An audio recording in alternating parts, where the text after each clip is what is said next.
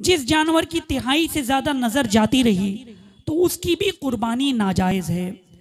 यानी जिस जानवर की नज़र कमज़ोर हो और वन थर्ड से ज़्यादा उसको दिखाई नहीं देता, तिहाई से ज़्यादा कमज़ोर हो गई तो उसकी कुर्बानी नाजायज है। अब ऐसे जानवर की आँख की रोशनी हम कैसे समझेंगे कि उसको कितना दिख रहा है, कहाँ तक दिख रहा है? तो उसके लिए तरीका बताया गया कि दोनों आँख की रोशनी कम हो तो पहचानना आसान है। अगर सिर्फ़ एक आँख की कम हो तो उसके पहचानने का तरीका यह है कि जानवर को दो दिन भूखा रखा जाए, फिर उसकी आँख पर पट्टी बाँध दी जाए, जिसकी रोशनी कम है और अच्छी आँख खुली रखी जाए। इतनी दूर चारा रखे कि जानवर ना देखे, फिर चारे को नज़दीक लाते जाए।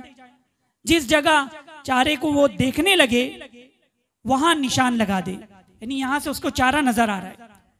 यानी एक आँख पे पट्टी बाँध ले, दूसरी आँख खुली रखें, दो दिन भूखा रखें, फिर चारा करीब करते जाए, करीब करते जाए। फिर जब उसको चारा नज़र आने लगे, एक कुछ जानवर इशारा करेगा कि हाँ भाई, अब घास आ रही, मुँह खोल रहा है। तो अब उसको नज़र आने लगा चारा तो वहाँ निशान कर निशानी लगा दे। फिर उसके बाद दूसरी खोल दे, फिर चारे को करीब करते जाए। जिस जगह आँख से देख ले, यहाँ भी निशान लगा दे। फिर दोनों जगहों का पैमाइश करें। अगर ये जगह उस पहली जगह की तिहाई है तो मालूम हुआ कि तिहाई रोशनी कम है और अगर आधी है निसफ है तो मालूम हुआ कि बनस्बत अच्छी है, आँख की रोशनी उसकी आधी अच्छी है। यानी इस तरह से पैमाइश करके आपको तिहाई और वन थर्ड के बारे में मालूम करना होगा। लेकिन ज़्यादा बेहतर ये है कि अगर नज़र नहीं आता, कम दिख रहा है तो ऐसे जानवर ख़रीदने ही नहीं चाहिए। ऐसे जानवर से मतलब अच्छे जानवर, फरबा हो, अच्छी तरह से किसी का आयब, कोई आयब ना हो, ऐसा ही जानवर आप हजरात खरीदे। जिसके दांत ना हो, जिस जानवर के दांत ना हो, या जिसके थन कटे हों, या खुश्क हों, उसकी कुर्बानी नाजायज है। यानी जिस जानवर का दांत नहीं है, उसकी कुर्बानी नहीं होगी। या जिसके थन कटे हों, या खुश्क हो गए हों, उसकी भी कुर्बानी जायज़ नहीं है। बकरी में एक का खुश्क हो जाना नाजायज होने के लिए काफ़ी है। यानी बकरी में अगर एक थन खुश्क हो गया तो ऐसी बकरी की कुर्बानी नहीं होगी। और गाय और भैंस में दो थन खुश्क हुए तो नाजायज है। जिसकी नाक कटी हो, ऐसे की भी कुर्बानी नाजायज है। नाक कटी हुई का जानवर, उसकी कुर्बानी नहीं होगी।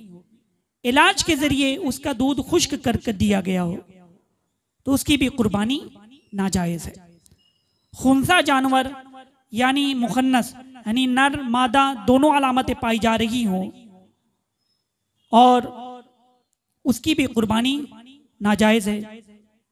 और जल्लाला जानवर, यानी जो सिर्फ़ गलीज खाता है, यानी सिर्फ़ वो पाखाना वगैरह, गलीज चीज़ें खाता है तो ऐसे जानवर की भी कुर्बानी नाजायज है, कुर्बानी नहीं होगी।